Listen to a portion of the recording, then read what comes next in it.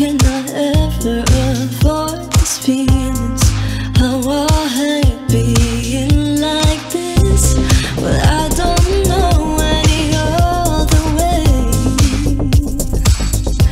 What can I say? In my confusion and my strength?